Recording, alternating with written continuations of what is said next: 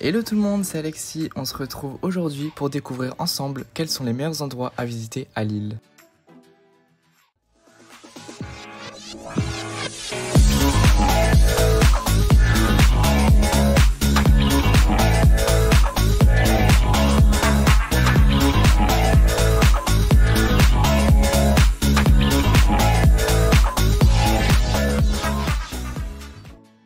Tout d'abord, pour commencer cette vidéo, on va visiter le quartier du centre-ville ainsi que le centre commercial Westfield de Ralil.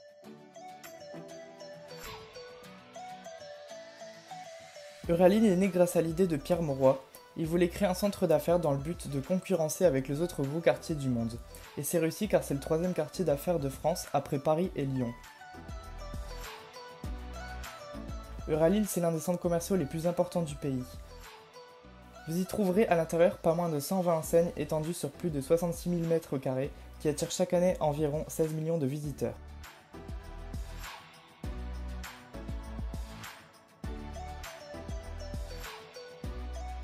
Le parc Henri Matisse est un parc qui est situé au cœur du quartier d'Oralil et qui a une superficie de 8 hectares. L'idée du paysagiste était de créer un parc qui évoluerait au fil des saisons et qui comporterait 4 espaces distincts. Pour la petite anecdote, le parc Henri Matisse a accueilli en 2016 la fan zone de l'Euro de football et c'est là où les matchs étaient retransmis sur un écran géant. La porte de Roubaix, c'est la jumelle de la porte de Gand. Elle se situe juste à côté du parc Henri Matisse et elle était construite lors de l'agrandissement de la ville au XVIIe siècle pour assurer la protection de la ville contre les attaques des provinces flamandes. Autrefois, les tramways de la ville passaient sous cette porte. Le deuxième quartier qu'on va maintenant visiter, c'est le plus joli à voir et c'est celui du Vieux-Lille.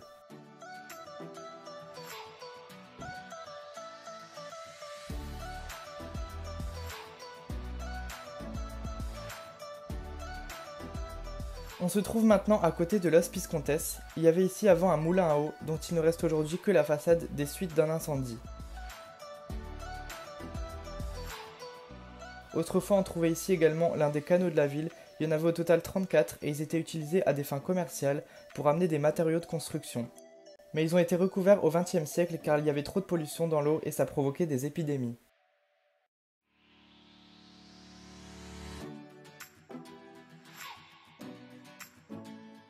On se dirige maintenant vers la place aux oignons, que je trouve très atypique du Vieux-Lille et qui est super jolie malgré qu'elle soit très petite car elle mesure que 20 mètres de long.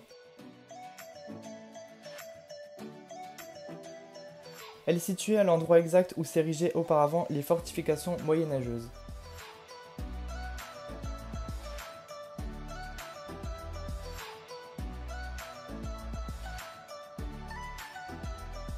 La cathédrale Notre-Dame de la Treille a été construite en style néo-gothique. Il a fallu attendre un siècle et demi pour qu'elle soit totalement construite et l'inauguration a eu lieu en 1999.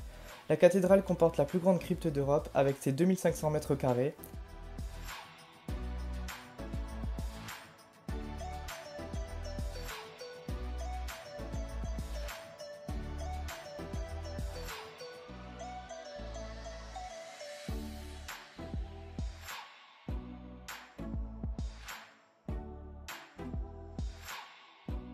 Si vous êtes fan de gourmandise, écoutez bien. La pâtisserie et boulangerie Merthe est ouverte depuis le XVIIIe siècle dans la rue Escarmoise. Au départ, c'était un commerce de glace. La spécialité principale des lieux, c'est la gaufre fourrée à la cassonade. On y retrouve aujourd'hui un salon de thé dans la rare boutique. Vous pouvez y acheter des confiseries, des gâteaux ou encore les célèbres gaufres qui sont d'ailleurs exportés à l'international, comme à Dubaï ou à Tokyo par exemple. On continue notre visite en passant par la Grand Place de Lille et par la place du théâtre avec l'opéra, la vieille bourse et la chambre de commerce. La Grand Place est aussi appelée la place du Général de Gaulle, en hommage à Charles de Gaulle qui est né à Lille au XIXe siècle. La place est utilisée pour plusieurs fêtes et manifestations, notamment pour la célèbre braderie annuelle de Lille où l'on mange des moules et où sont créés des immenses monts de moules qui seront ensuite recyclés pour en faire du carrelage. On y retrouve également plusieurs enseignes de magasins comme le Furet du Nord, des restaurants, des estaminets ou des cafés, et c'est sur cette place que l'on retrouve les locaux du journal local La Voix du Nord.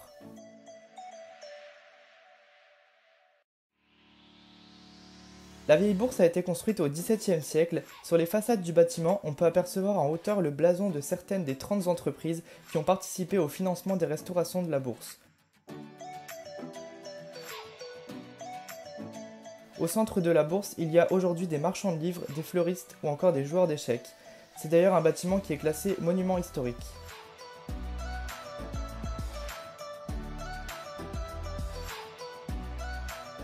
Je sors maintenant de l'autre côté de la vieille bourse pour arriver sur la place du théâtre où on retrouve l'opéra qui a une capacité de 1600 spectateurs. Avant même que la construction de l'opéra soit entièrement finie, il y a eu un incendie. Durant la Seconde Guerre mondiale, les Allemands ont occupé l'opéra pendant 4 ans et l'avaient renommé en Dutch Theater. La Chambre de commerce sert à représenter les intérêts des entreprises et de leur apporter certains services. On peut y voir le beffroi qui mesure 75 mètres de hauteur et qui représente la puissance des villes du Nord. Enfin, là où vous pouvez voir l'inscription Morel et Fils, c'est là où la scène dans un restaurant du film Bienvenue chez les Ch'tis a été tournée. Le dernier endroit où nous allons maintenant nous rendre, c'est la citadelle de Lille.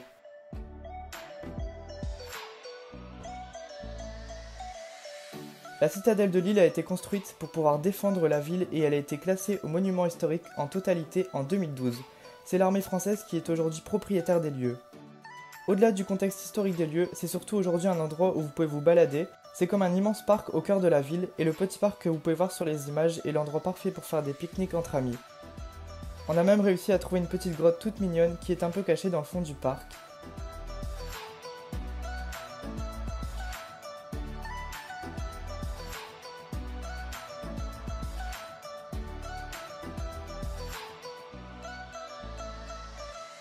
C'est aussi à cet endroit que vous pouvez retrouver le célèbre zoo de Lille et juste à côté se trouve un petit parc d'attractions qui est plutôt sympa.